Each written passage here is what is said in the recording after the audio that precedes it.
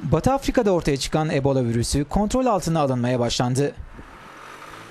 Liberya Devlet Başkanı Johnson Sirleaf, ülkede ilan edilen olağanüstü hali kaldırdıklarını belirtirken, salgın nedeniyle ara verilen haftalık sebze pazarlarına da artık izin vereceklerini duyurdu. Tehlikeli bölgeler kırsal kesimlerde çoğaldı ve Ebola yüzünden hala vatandaşlarımız ölmeye devam ediyor. Komşu ülkelerde Ebola yok olmadıkça Liberya bu hastalıktan tamamen temizlendi diyemeyiz. Bunun yanında komşu ülke Mali'de son zamanlarda 4 kişinin Ebola yüzünden hayatını kaybetmesinden dolayı ülkenin sağlık merkezlerinde ihmal olup olmadığına dair soruşturma başlatıldı.